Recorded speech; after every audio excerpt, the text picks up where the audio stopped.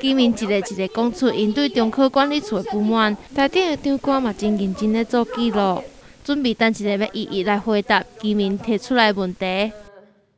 办这个会议主要是因为我们中心人自己在地的人，因为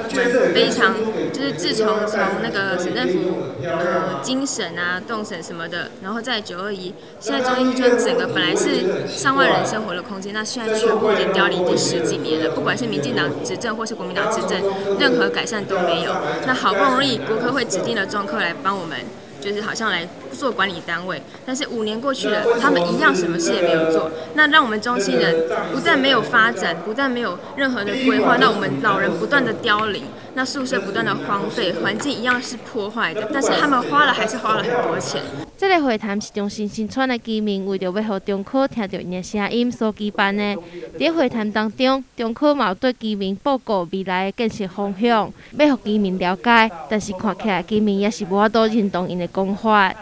那他们呢，不断的就是让已经不符资格的人呢搬出去建设，但是搬出去以后建设不再不不再处理，然后任由它毁坏，沦为吸毒者跟呃流浪汉的天堂。所以我们主要除了希望中科处理建设的问题，不管它是要对外租赁也好，或者呢就是把建设呢做一个妥善的维修，然后让这个村子里头不要再有这种的环境提供。就是让这些不好的、不好的的因因素存在。另外就是村里老人非常多，我们希望能够中科可以帮我们争取，就是让中心医院原有中心医院发挥它应有的医疗功能，提供老人的照护还有医疗需求。那这是我们这一次最主要的需求所在了。因为毕竟中心医院还有人住，它不是荒城，不要因为中科着重在科学园区的建设而。忽略了这里还有居民的存在，然后这些居民他一样应该享有他应有的权益，对住的权益跟医疗权益这样子。请各位，